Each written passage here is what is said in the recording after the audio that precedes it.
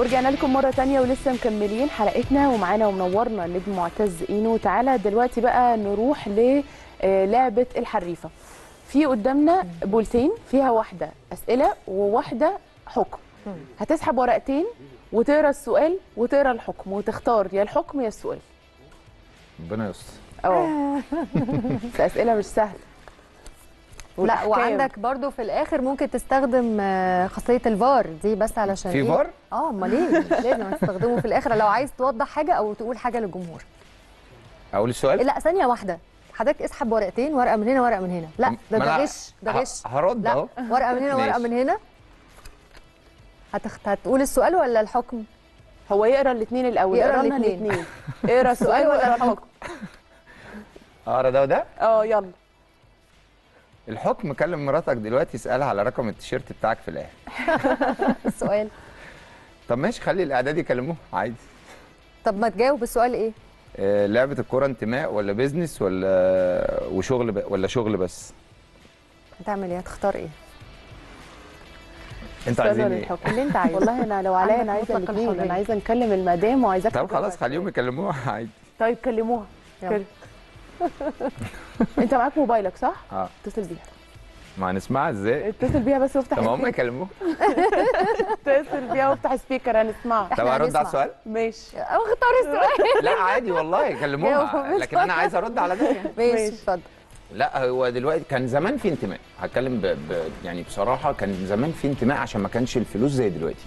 أو الأرقام اللي إحنا بنسمعها دلوقتي ما كانتش موجودة زمان فكان الانتماء صعب قوي إنك تلاقي مثلا الكابتن حسن شحاتة ده يروح الأهلي صعب جدا إنك تلاقي الكابتن محمود خطيب ده يروح الزمالك فاهمة؟ كان في كده كوادر صعب تروح من هنا فكان الانتماء أو ال- التيشيرت كان الموضوع يعني كبير جدا يعني.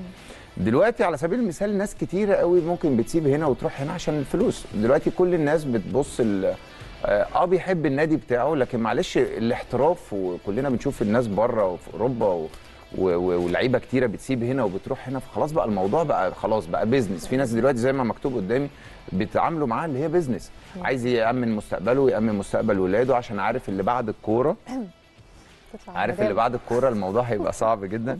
دي المدام. مدام ولا إيه؟ إحنا اللي إحنا اللي هنكلمه فعارف ان الموضوع هيبقى صعب بعد الكورة ف... فهو يقول لك لا أنا بلعب الكورة دي زي ما قلت لك هي فترة. فأنت لازم تعمل منها فلوس كويسة عشان تقدر بعد كده. في ناس مش كل الناس هتبقى مدربين. مش كل الناس هتبقى محللين. صح. فاللي يقول لك لا أنا بعمل عشان بعد كده بعمل أنا بيزنس لوحدي بشوف أموري ف اديني يا كابتن. شكرا ده كده خلاص؟ لا خلاص ورقتين تانيين. هم كده هو إحنا هنجاوب على كل ده؟ لا يعني شوية. هتسحب ورقتين واحدة سؤال طب أنا واحدة ممكن أعمل كده؟ أيوه طبعا يا بدل ما سلام يبقوا مترتبين بس. لا لا مش لا لا لا مترتبين على فكرة. عليك. ماشي. هنا في مصداقية. ما هو مش حدش هيرقصني. الوحيد اللي رقصني ميسي. ترقص بلد. أوكي يا نهار أسود.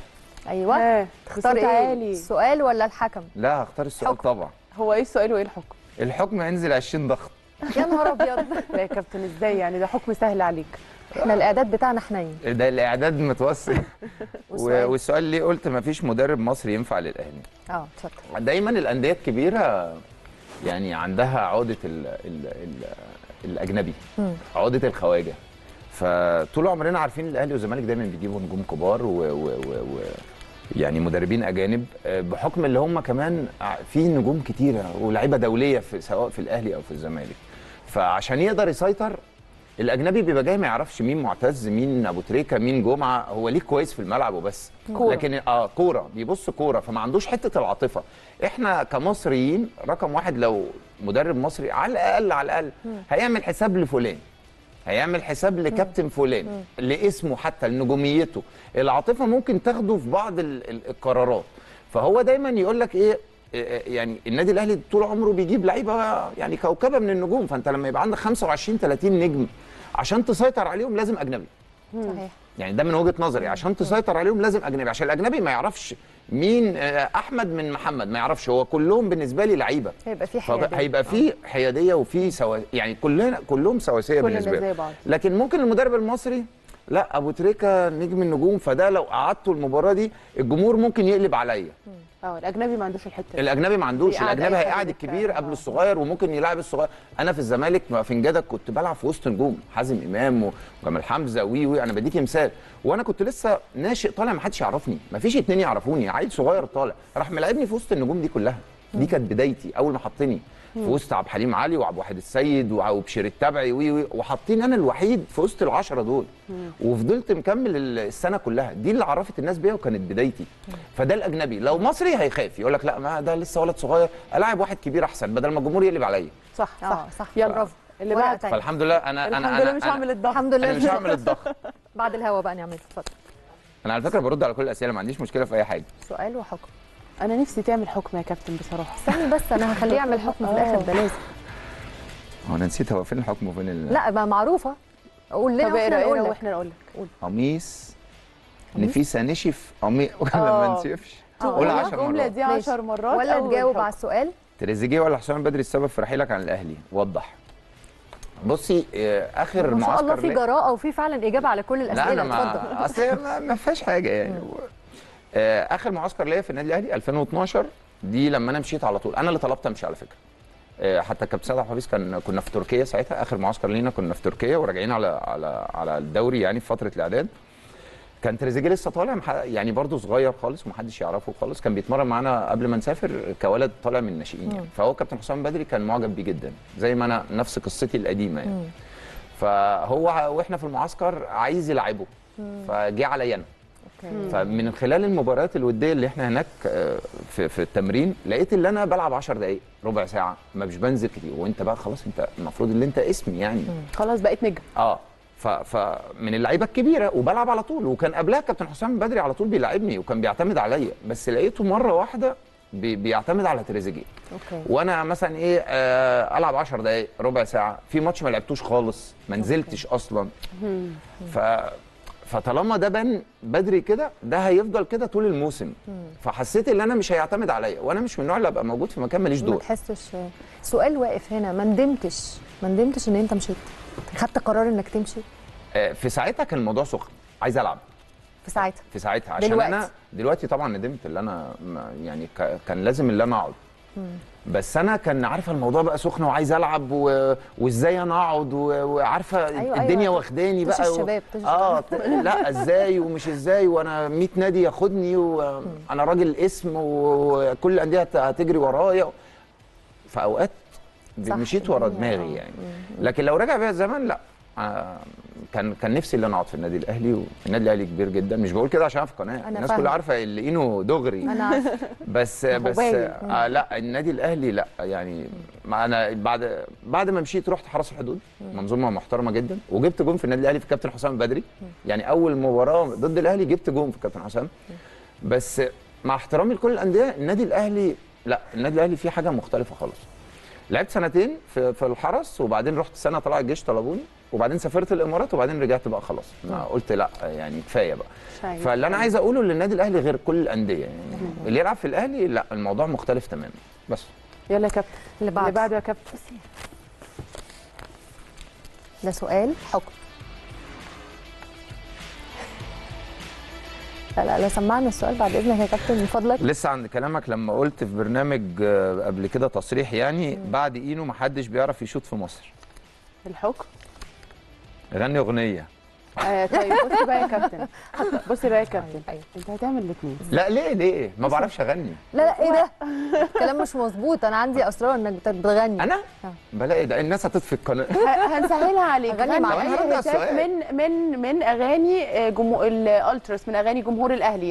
يعني أي مش بعرف والله. مش حافظهم اصل يعني أنا دايما كنت ب- بسمعهم في الاستاد. آه يعني وهم بيقولوها لنا. لكن أنا اللي أنا اردد ده هيبقى الموضوع صعب هيبقى شكلها وحش. جاوب على السؤال يا كابتن. ما تحرجنيش جاوب على. السؤال. والله لو بعرف أغني كنت على أغني. السؤال مش لازم. معلش. بص يمكن أنا قبل كده كنت برضو في- في لقاء في برنامج يعني وكنا بنتكلم على التسديدات اللي ما فيش حد دلوقتي بيشوط في مصر خالص.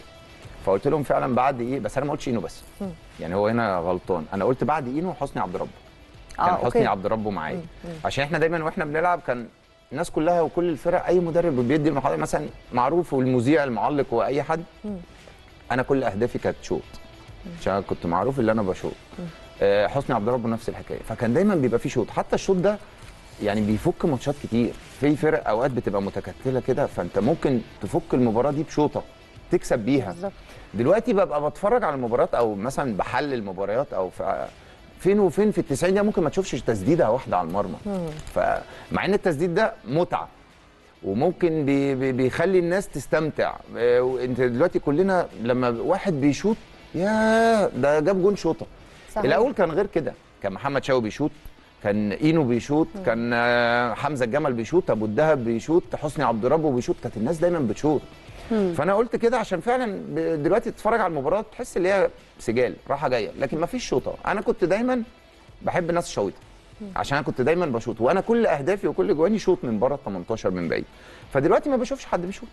فأنا عشان كده قلت ما حدش بيشوط دلوقتي يعني. تصريحات قوية جدا آه آه لا لا صريحة كابتن والله. أنا آه، بحب. أنا بحب الناس الصريحة ما بحبش آه. الناس اللي بتلف وتدور آه، آه، وبتتكلم لا مش. أنا خالص لا آه. إحنا هنوقف هنا إحنا هنرحمك من اللعبة دي شوية أصل أنا استحليت الموضوع الموضوع عجبك هنروح بس كده نشوف أسئلة بقى الناس على آه. ال social media آه عندنا سؤال من وجهة نظر حضرتك ماتش الأهلي اللي فات هيأثر على الأهلي في مشوار الأهلي في في الدوري وكأس العالم الأندية عشان بجد إحنا خايفين اللي حصل في السنين الأخرة وخسارة الدوري يحصل الدوري يحصل تاني.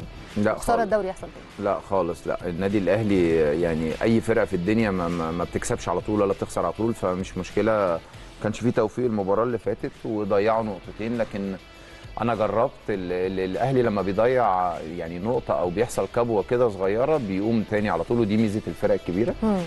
فإن شاء الله بتمنى لهم التوفيق و و والأهلي قادر اللي هو إن شاء الله يعمل موسم قوي يعني سواء في أفريقيا أو في الدوري. طيب آه، إيه توقعك لعمر أحمد بيقول إيه توقعك لنهائي كأس العالم بين فرنسا والأرجنتين؟ الفرقتين طبعا فرقتين كبار بس أنا بحب ميسي.